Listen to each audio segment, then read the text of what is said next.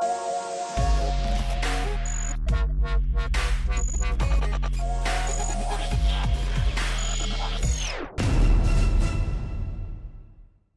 đàn ông này dường như đang có một công việc quan trọng nên mới rời nhà vào khoảng thời gian này.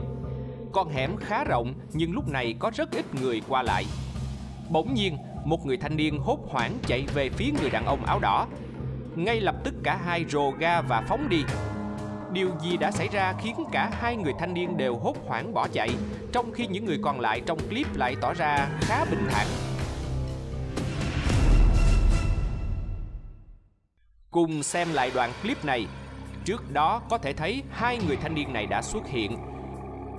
Tuy nhiên cả hai đã phát hiện ra điều gì đó và ngay lập tức quay đầu xe. Và đây là lý do cho hành động quay trở lại đột ngột của họ.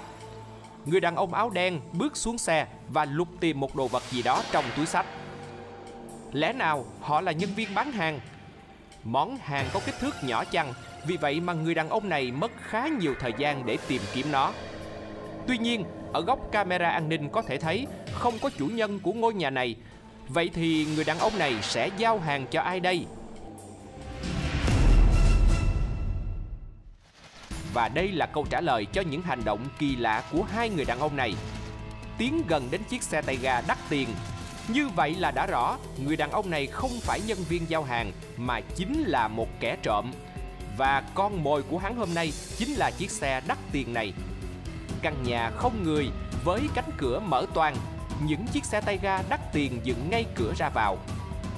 Và hai kẻ gian đang tận dụng cơ hội để lấy đi chiếc xe đắt tiền. Tên trộm bắt đầu công đoạn phá khóa.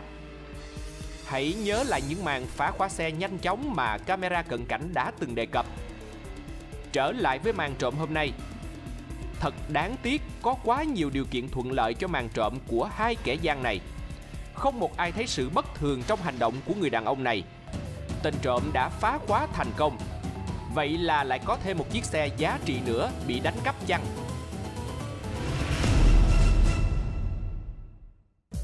Tên trộm không mất quá nhiều thời gian để phá khóa chiếc xe. Tuy nhiên, ngay khi hắn vừa có hành động dắt chiếc xe để tẩu thoát, thì ngay lập tức có lẽ chiếc xe này đã được lắp thêm hệ thống khóa chống trộm Vì vậy mà dù đã phá khóa thì tên trộm cũng đành từ bỏ Không chỉ vậy, khi còi báo động vang lên Tên trộm chỉ còn cách bỏ chạy để tránh sự phát hiện của chủ nhân ngôi nhà và đây cũng là câu trả lời cho hành động bất thường của hai kẻ gian trong đoạn đầu clip mà chương trình đề cập.